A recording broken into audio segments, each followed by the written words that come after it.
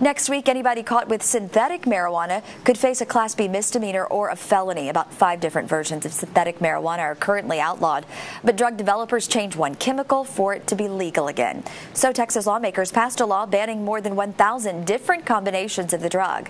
There have been more than 15 deaths related to synthetic marijuana this year. The new law takes effect September 1st.